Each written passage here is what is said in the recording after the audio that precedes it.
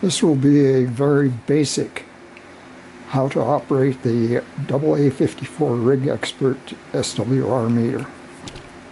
This is the on-off button.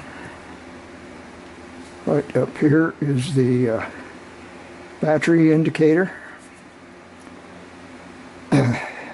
this is the start or uh, commence.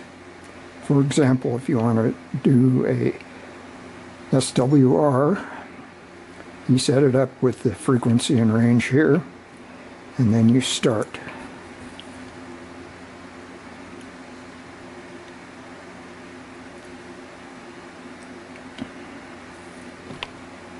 To get out of it, you just hit that. There is a uh, multi SWR mode, and you hit the F and the 7, and then you hit that, and it shows the SWR.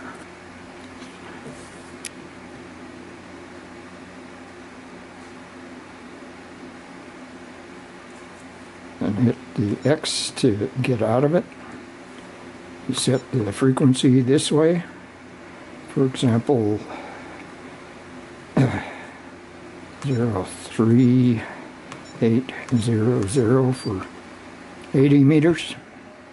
The range is 2000 hertz, so 1000 back and 1000 front. Range 2000, so that looks good. Hit SWR, then hit start.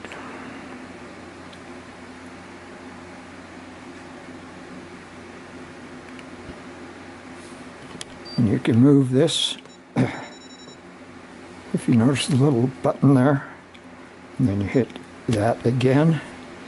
You're at 36, 3.640 megahertz and to get the SWR hit F7 and hit enter and shows 2.2 SWR.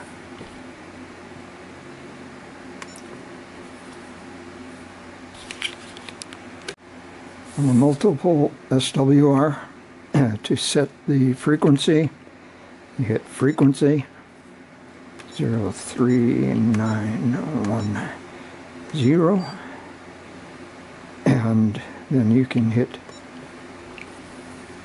that and it uh, shows the SWR in uh, a bar form. To change from uh, the bar form to the SWR you hit set. and that gives you your value. And that is essentially the minimum things that I needed to uh, figure out. And so I thought I would make this short video.